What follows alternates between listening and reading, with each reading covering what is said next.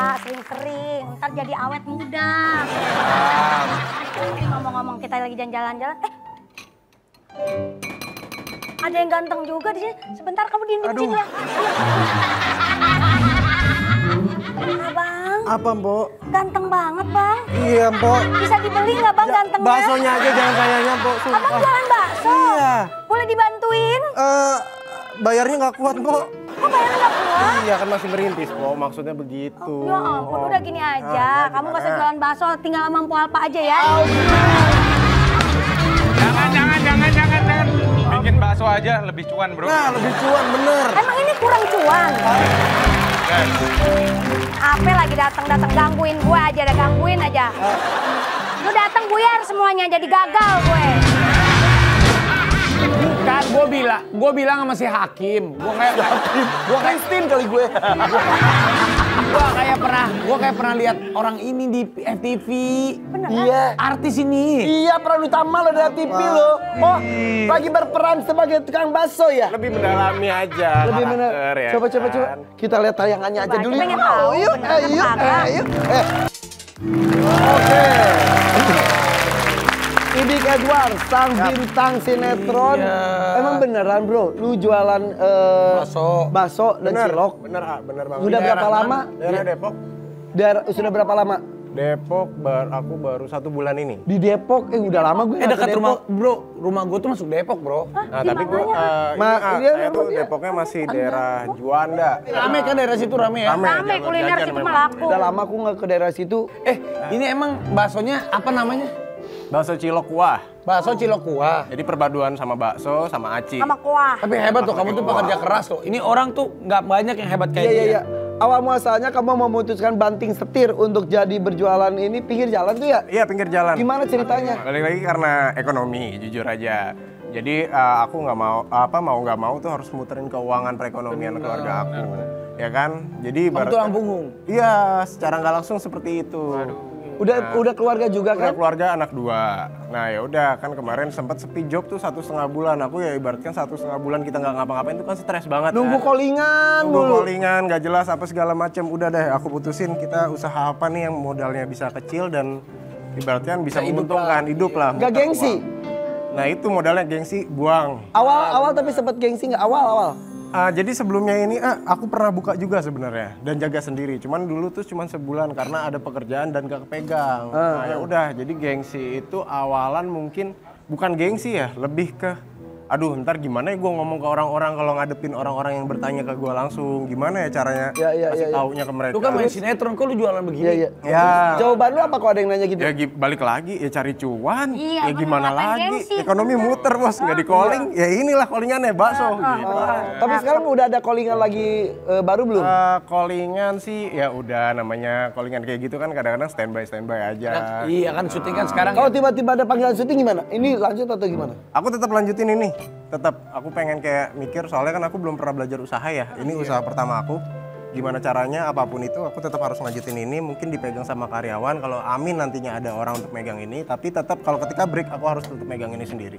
Raffi itu kalau ngelihat para pekerja keras gitu suka tergerak Iya, hatinya. aku tergerak hatinya bro. Aku, eh kemarin aja ada yang rojo sambel tuh bro. Oh iya. Oh itu dari UMKM bisa jadi besar. Alhamdulillah. aku jajalin ya. Bisa nyampe nggak? Ini coba dulu, coba dulu, Iya coba cobain, aku mau cobain ah. Ya, ada tetelannya. Cobain ya. kaldunya kelihatan mantep banget. kamu rumahnya di Depok? Ah, aku tinggal di Depok. Di Juanda situ tinggal. Aku di daerah Brimob Kelapa Dua. Coba, coba, coba. Eh coba dong kita kita makan kita ambilin aja. Eh, Kita Neng, ambilin Neng, deh. cobain Neng, baksonya si Edward Neng. Siapin, siapin dulu. Semua bikin sendiri, homemade. Ya, tapi kalau untuk ngebuletinnya itu dibantuin Hebat ya. orang. Soalnya kalau untuk produksi Gak gampang tahu orang itu kayak dia Iya, enak, bisa kerja keras. Kalau artis itu biasanya gengsi. Itu gengsi nomor satu. gengsi. Tapi harus realita, realistis aja udah. Eh pemirsa, enak banget. Belum juga dicoba, lu mana nyoba? Beneran. Udah bilang enak sebelum nyoba. Eh enggak beneran. Beneran, ah enak Ini banget. ah. resep dari mana sih? Aku sharing juga dari teman-teman aku, ah, terutama sih di dekat rumah itu kan ada yang jual bakso cilok juga, tapi dia di pemukiman kan. Nah ya udah belajar dari dia lah, ibaratkan sharing tuh sama orang tua juga. Akhirnya dapat menu apa resep ini, ya udah sikat jalani. Berapa satu porsinya? Satu porsi berapa, bro? Ada Satu 2000 porsi. ribu sih. Itu kok tulisnya ada. 2000 jadi 1000 bro? Itu beneran. Jadi seribu satu butir. Oh, 1000 satu butir. Jadi orang terserah mau beli lima Itu ribu. nomor telepon lu beneran itu. Hah? Itu ada nomor telepon. Oh yang itu iya tuh.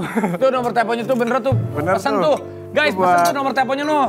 Beneran kita support dia. Tapi jangan main-main, terjangkau jangan ya. main-main. Ya, Ini jadi beneran orang enak loh. terserah mau beli lima ribu boleh. Ini belum dia belum. Eh ini belum, selidiki doang. Bro, enak bro. Sebentar, sebentar.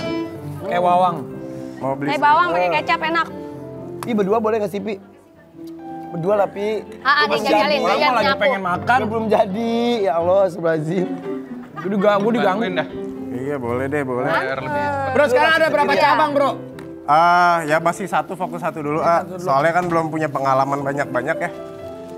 Penghasilan, penghasilan sehari paling terendah Penghasilan berapa sehari duit? paling terendah itu awal-awal mungkin 50 ribu kali ya. Bohongan lu. Iya, iya. Untungnya Iya untung itu. 50.000. 50 ribu. Gak apa-apa, tapi tapi sekarang... nggak sampai rugi. Nah, Ya itu pasti ada untung lah, poinnya itu doang. Oke, tapi yang lagi rame Alhamdulillah sekarang dibantu keviralan seperti sekarang ini. Jadi aku sih nyetok dua- 1.500 sampai 2.000 butir. Satu hari? Iya. Oh, habis berarti 2 juta. Iya, tapi kan itu hitungan kotor ya. Soalnya aku kotor. jujur ngambil untung ini tipis. Oh, Anggap iya. oh iya 2 20% juta tuh kan itu ya omsetnya. enak. ini gurih. Apa bos, ba- baksonya tuh yang berapa bikin, dagingnya? yang bikin menu-menu baksonya siapa? Sidik, lu. Menu-menu bakso, iya sidik sama istri terutama. Hah, lu Oh, punya oh, istri? Iya. Anak dua po, anak dua. Ya udah, Anak dua. Sidik, Ah. kamu nanti ke rumah aku ngobrol, mau nggak kita kembangin bisnisnya? Boleh lah. Alhamdulillah. Ih, gila. Iya, iya. Ya nanti ngobrol. Jadi nanti Ah. Lu jangan harapan-harapan. Enggak ini beneran ya, gue serius. Nanti gue gue gue ngobrol ya. Karena Oke, gue ini siap. kan UMKM kan. Heeh. Karena kebetulan gue lagi nyari bakso. Nah, Tapi nanti kita ngobrol. Oke. Ya kita asik aja maksudnya. gue juga punya bakso Irfan Hakim kok Enggak, enggak, diajakin. enggak, enggak, enggak tertarik. Yang ini gue Dia anaknya dua, aku anaknya lima loh. bodoh. Kamu mau banyak syutingannya. Ini deh, gue pengen kenalan sama istri sama anak-anaknya. Ada. Boleh, boleh. Panggil bro, istri sama anak-anaknya. Oh ini. Halo. Istri, Ini istri istri dari. Korea ya? Hah? Enggak dari Depok. Eh, dari Depok ini. Halo, namanya siapa? Iya. Dea. Yang ini siapa? Ini kakak Akila. Akila.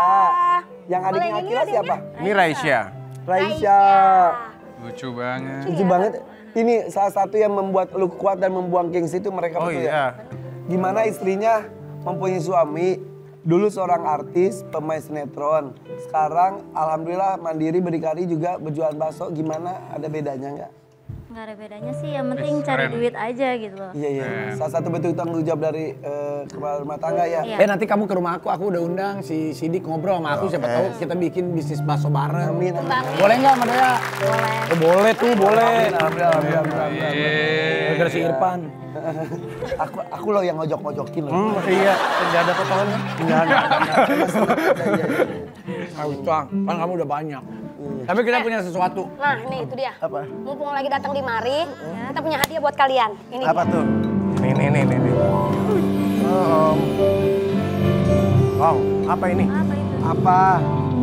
Eh, eh, eh, eh, eh, eh. Eh. Bantu. Nasi dan basreng. Tolong dibuat, eh dibuka. Ada cerita apa bro, nasi sama Ah. basreng bro? Sedih bang, eh sedih bang. Kenapa tuh? Males nih kayak gini-gini nih. Aduh, Kenapa bro? Nasi sama basreng? gimana ya Ayah? Eh, jadi dulu pernah usaha online basreng juga ya. Apa? Sorry. Malu. Apa? Eh, Cerita apa nasi sama basreng bro? pernah usaha basreng juga sama istri. Terus abis itu ya namanya usaha kan ada naik turun ya Ayah. Iya bener.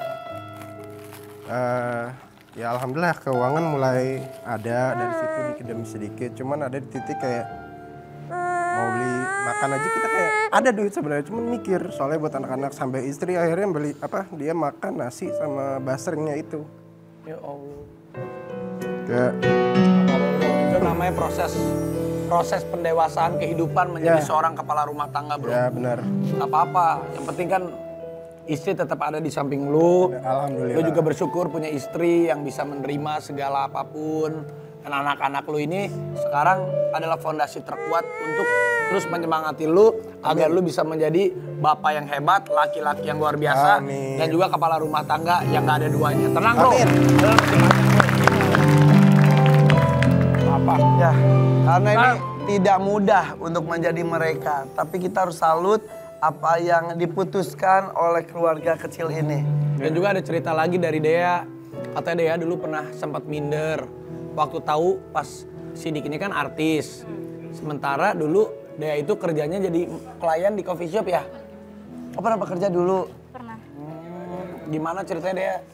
Eh, aku kan kayak cuma pelayan gitu kan.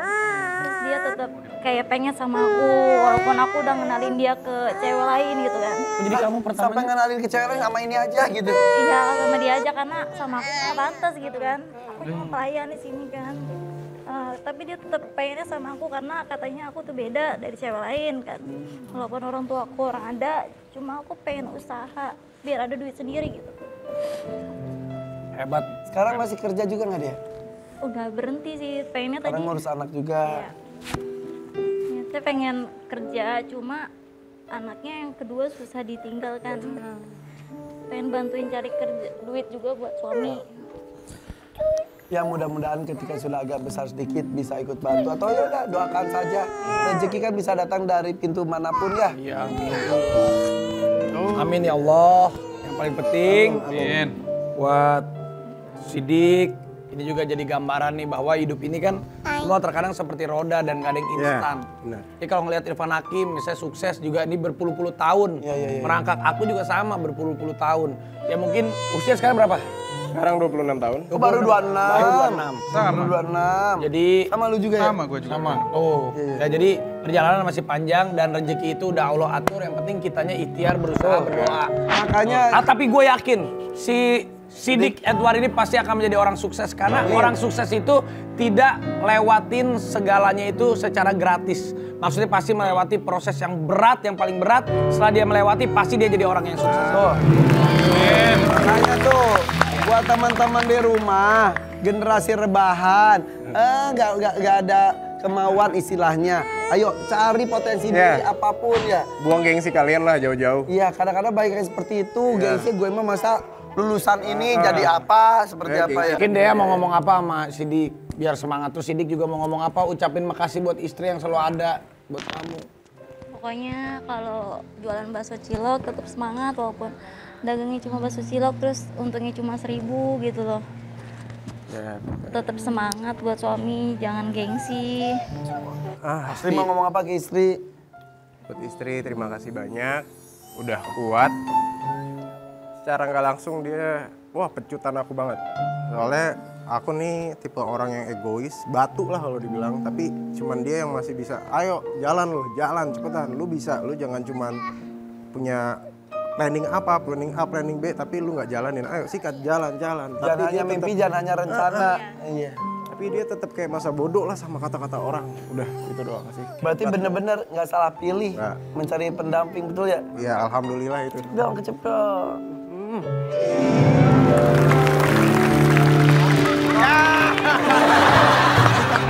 Sikat bro. Nah ini Mbak, ini ini ini kisah yang sangat bagus banget. Mudah-mudahan yang ada di rumah juga bisa nonton ini dan bisa menjadikan pelajaran hidup yang bermanfaat buat kalian. Oke, Yuk berjuang untuk hidup ya. jangan ke mana-mana tetap di FVP. Forever. Korea lagi. Kau bukan cinta pertamaku